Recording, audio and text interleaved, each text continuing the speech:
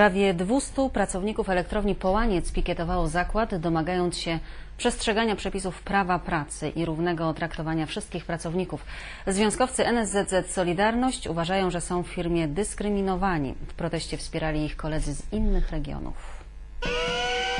To miała być pokojowa demonstracja i była. Związkowcy chcieli zwrócić uwagę na swoje problemy, a jest ich niemało. zabrali nam połowę zarobków.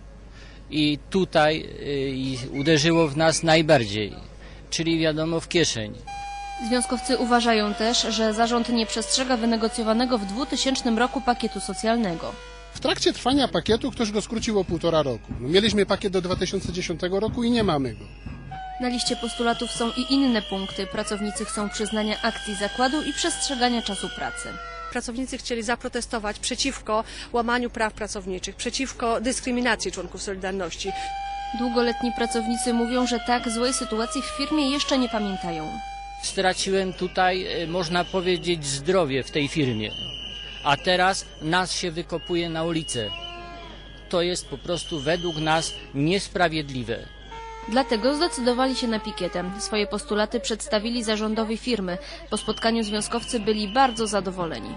W ciągu tygodnia otrzymamy odpowiedź, maksymalnie to będzie tydzień yy, i najprawdopodobniej dojdzie do ponownych rozmów pomiędzy zarządem elektrowni a zwią- naszą organizacją związkową.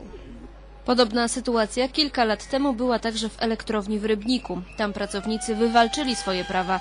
Dziś przyjechali wspierać swoich kolegów z Połańca. Było posiedzenie Rady Nadzorczej y, specjalne w tym celu zwołane i w końcu widocznie inwestor nacisł na nas y, zarząd, żeby jednak ustąpić i, i usiąść do stołu i porozumieliśmy się.